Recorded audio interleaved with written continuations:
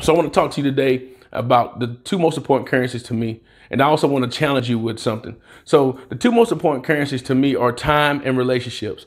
Time you got to invest wisely. Relationships will get you places that money can't buy. And throughout my life, I've seen how those two most important currencies had to be spent wisely because I can't get the time back.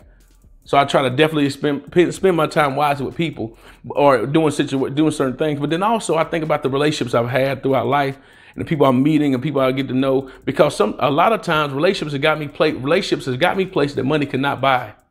I've had lunch with people and got to know people that if I try to do it myself or I try to pay my way in, I wouldn't have gotten there. But I've had the great relationships in place to help me get there. So understand those two most important currencies as you're going throughout t- today.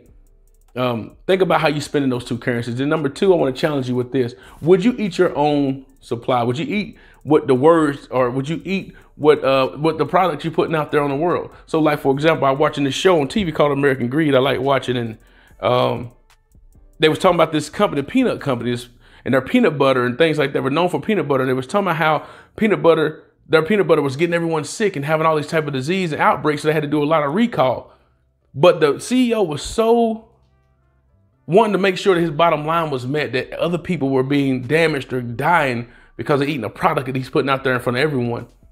And they started noticing that his product was in everything peanut dust, peanut, peanut oil, peanut butter.